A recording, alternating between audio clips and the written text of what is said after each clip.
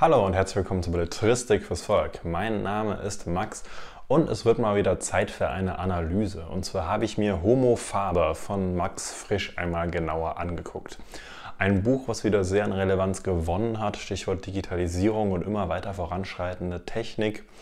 Ähm, also ein Buch, was ein ganz, ganz wichtiges Thema anspricht und was deshalb aktueller denn je ist, was aber gleichzeitig auch vom Inhalt her teilweise ein bisschen verstörend ist. Ähm, was ich damit genau meine, werde ich später noch erläutern, aber um dieses Buch soll es in der heutigen Analyse gehen.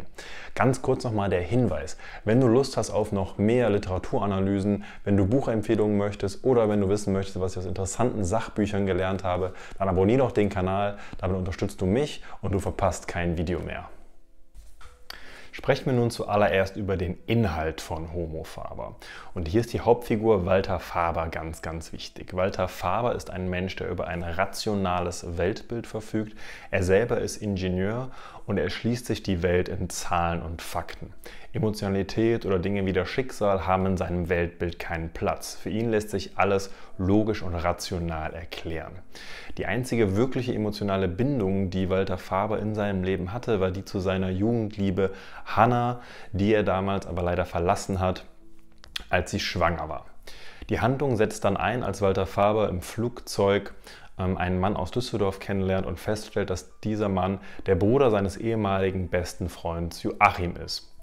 Dann kommt es zu einem Flugzeugabsturz ähm, und das Flugzeug muss in der mexikanischen Wüste zwischenlanden. Und was hier ganz besonders ist, obwohl Walter Faber den Eindrücken und den Einflüssen der Natur so ausgesetzt ist, ändert er nichts an seinem rationalen Weltbild. Er, bleibt relativ kalt, er sieht das Ganze analytisch und er weiß, wie stehen die Chancen auf Rettung und lässt sich nicht aus der Ruhe bringen. Er entschließt sich dann, nachdem ähm, das Ganze, ja, nachdem alle Passagiere gerettet wurden, entschließt er sich mit seinem neuen Freund aus dem Flugzeug zu seinem Jugendfreund Joachim zu reisen, der eine Plantage in Guatemala leitet. Als die beiden dort eintreffen, stellt sich aber heraus, dass Joachim Selbstmord begangen hat. Er hat sich selber erhangen und auch dieses Ereignis lässt Walter Faber wieder relativ kalt er filmt sogar noch seinen toten Freund und steht dem Ganzen wieder sehr rational gegenüber. Walter Faber fliegt anschließend zurück nach New York, ähm, trifft dort auf seine Freundin Ivy. Von der trennt er sich aber wieder relativ schnell, weil er eben von ihrer großen Emotionalität und ihrer Hysterie relativ genervt ist. Walter Faber bucht dann eine Schiffspassage nach Europa und auf dieser Schiffspassage lernt er die junge Sabev kennen. Ähm, und Sabev ist ein junges Mädchen, was sehr viel Lebensfreude versprüht, was ähm, sehr viele Dinge hinterfragt, was sehr neugierig ist, was sehr viel ausprobiert und was so gar nicht eigentlich Walter Fabers Weltbild entspricht. Die beiden lernen sich kennen und verstehen sich irgendwie. Ähm, und Walter Faber erkennt sofort eine gewisse Ähnlichkeit zu seiner Jugendliebe Hannah. Und tatsächlich handelt es sich bei Sabev oder Sabet um seine eigene Tochter. Walter Faber ist aber so in seinem rationalen Weltbild gefangen, dass er sich diese Frage gar nicht stellt. Er denkt sich, wie groß ist die Wahrscheinlichkeit, dass ich meine eigene Tochter hier auf diesem Schiff treffe, obwohl sie seiner Jugendliebe Hannah so ähnlich sieht und obwohl er weiß, dass Hannah damals schwanger war, als er sie verlassen hat. Für ihn kommt es aber gar nicht in Frage, dass Sabev seine eigene Tochter ist. Dann kommt es so, dass die beiden sich in Europa wiedersehen und Walter Faber und Sabev relativ spontan gemeinsam mit dem Auto dann durch Europa fahren. Das Unvermeidliche passiert und die beiden beginnen eine Liebesbeziehung. Das ist auch der Punkt, wo ich am Anfang meinte, der Inhalt ist teilweise ein bisschen verstörend, denn hier haben wir Mutter und äh, äh, hier haben wir Vater und Tochter, die eben aus Unwissenheit einer Liebesbeziehung beginnen. Ähm, aber wie gesagt, für Walter Faber war die Wahrscheinlichkeit einfach so gering, dass es sich um seine eigene Tochter handeln könnte, dass er gar nicht darüber nachgedacht hat in seinem rationalen Weltbild. Dann kommt es aber so, dass ähm, Sabev einen Unfall hat, sie wird von einer Schlange gebissen und schwebt in Lebensgefahr. Jetzt stellt sich auch heraus, dass Sabev die Tochter von Hannah ist. Ähm, aber Walter Faber möchte zunächst auch nicht wahrhaben, dass es seine eigene Tochter ist, sondern er denkt, es sei die Tochter von Joachim. Ähm, dann ist es so, dass die beiden, Hanna und ähm, Walter Faber, sich wieder etwas näher kommen, während Sabev in Lebensgefahr schwebt. Also nicht körperlich, sondern emotional kommen sie sich näher, sie öffnen sich ähm, ja, einander. Und Hier ist auch wieder bezeichnend für Walter Faber, dass er die Sterblichkeitsrate von Sabev wieder in einer Wahrscheinlichkeit ausdrückt. Also der Arzt sagt, an einem Schlangenbiss zu sterben, hat eine Wahrscheinlichkeit von 3 bis 10 Prozent und er macht sich überhaupt keine Sorgen, denn er denkt, okay, die Wahrscheinlichkeit ist auf seiner Seite, es kann nichts passieren, während Hannah, die Mutter, ähm, sich sehr große Sorgen macht. Und dann kommt es tatsächlich so, dass Sabev stirbt. Nicht an den Folgen des Schlangenbisses, sondern sie ist außerdem hingefallen in derselben Aktion, hat sich den Hinterkopf gestoßen und stirbt an einer Schädelfraktur, die eben nicht erkannt wurde. Ähm, jetzt erkennt Walter Faber eben auch, dass Sabev seine eigene Tochter war. Er erkennt die Ausmaße von dem, was er erkannt, äh, was er getan hat und sein Weltbild.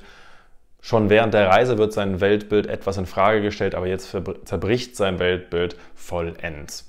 Ähm, Walter Faber hinterfragt quasi jede Entscheidung, die er getroffen hat in seinem Leben und trifft den Entschluss, selber weniger rational zu leben, mehr Emotionalität zuzulassen und ja, somit auch mehr Freude in sein Leben zu lassen. Das Ganze wird deutlich, als er am Ende des Buches eine Präsentation geben soll mit den Videoaufnahmen, die er die ganze Zeit gemacht hat. Und er soll eigentlich nur die Plantage in Guatemala präsentieren, ähm, also den Vorgesetzten von Joachim, der sich ermordet hat ähm, an der Plantage.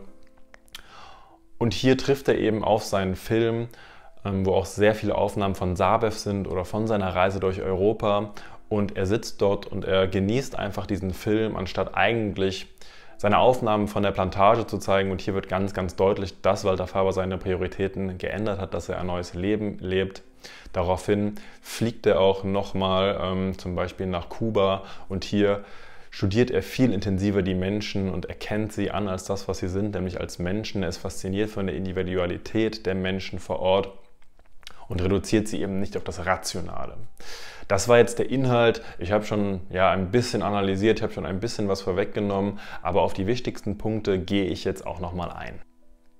Und ich habe es jetzt schon ein paar Mal erwähnt, aber der zentrale Punkt, das zentrale Motiv in diesem Werk ist das Weltbild von Walter Faber. Walter Faber erschließt sich die Welt mit purer Rationalität, mit Zahlen und Fakten, mit Wahrscheinlichkeiten.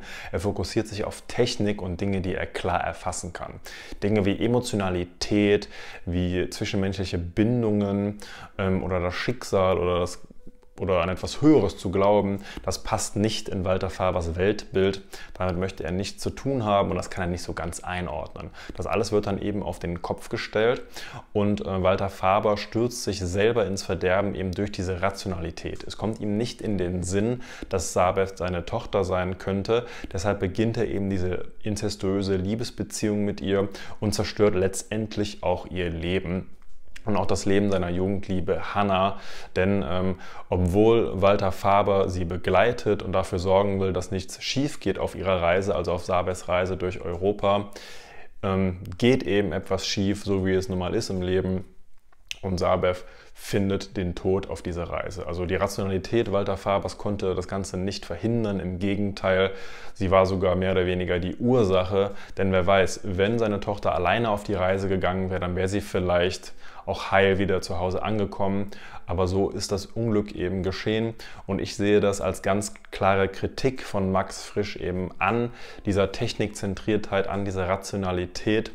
Ähm, denn die Figur Walter Faber stürzt alle um sich herum ins Unheil eben, weil er diese Weltanschauung hat und er selber macht ja auch eine Wandlung durch und erst durch diese Wandlung hin von seinem technikzentrierten, von seinem rationalen Weltbild hin zu einem offenen, emotionaleren Weltbild wird Walter Faber dann auch am Ende seines Lebens glücklich und kann das Leben viel mehr genießen, viel mehr in sich aufnehmen. Also wir haben hier eine ganz klare Kritik an diesem rationalen Weltbild, was Walter Faber lebt. Wir sehen das auch ganz klar in der Sprache.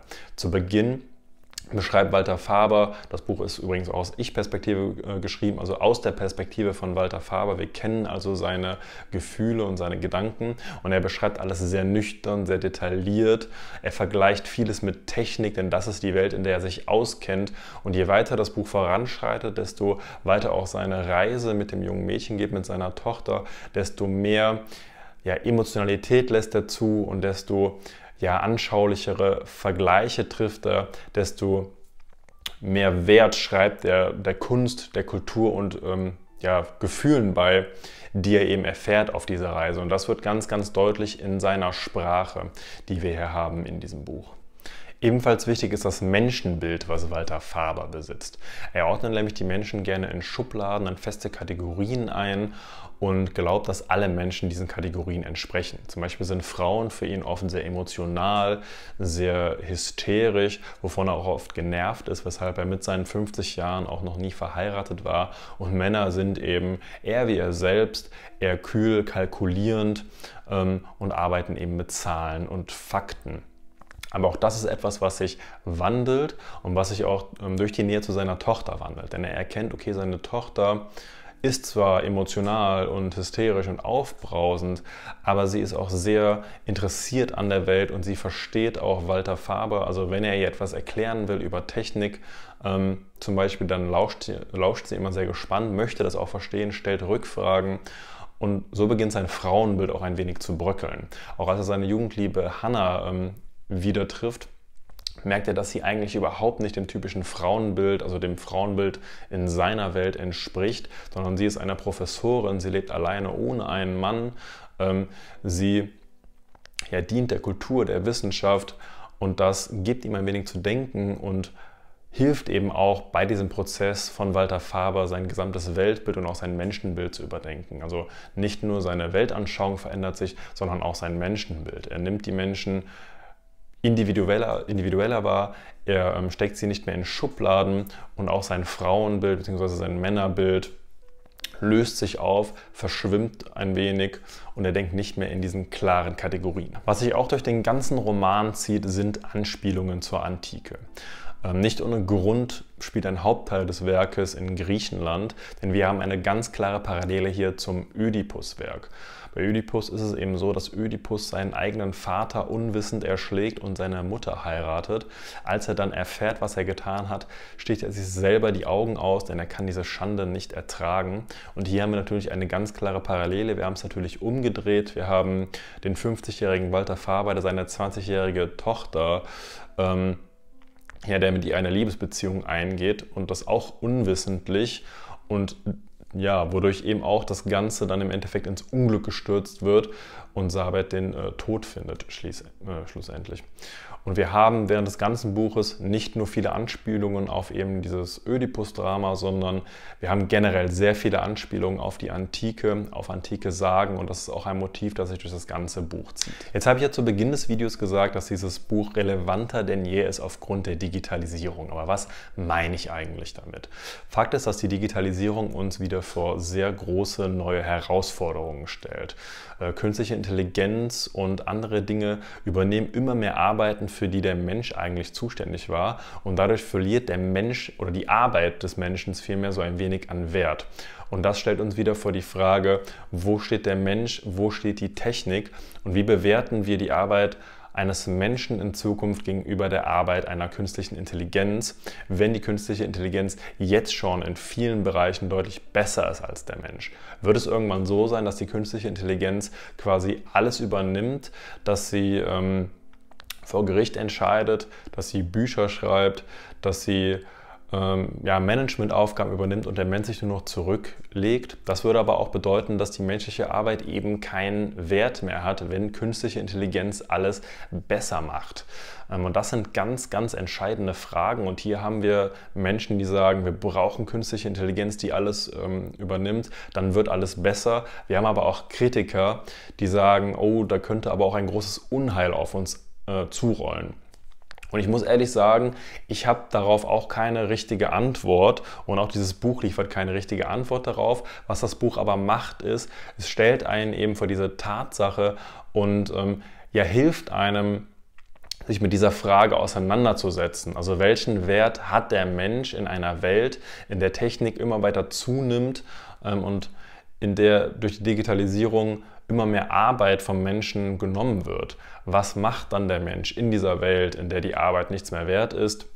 Ähm, und das sind alles Fragen, die eben auf uns zurollen im 21. Jahrhundert. Und dann ist ein Werk wie Homo Faber ganz wichtig, denn es hilft uns, das Ganze aus einer anderen Perspektive zu betrachten, einen Schritt zurück zu machen und uns mit dieser Fragestellung auseinanderzusetzen. Denn es ist eine komplizierte Frage, auf die ich, wie gesagt, keine Antwort habe.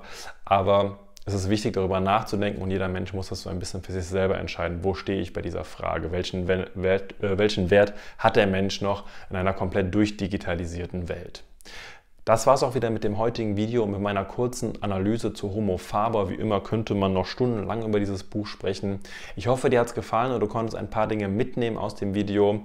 Ähm, interpretierst du vielleicht Dinge anders oder hast du irgendwas nicht so ganz verstanden? Schreib es gerne in die Kommentare und dann können wir darüber diskutieren.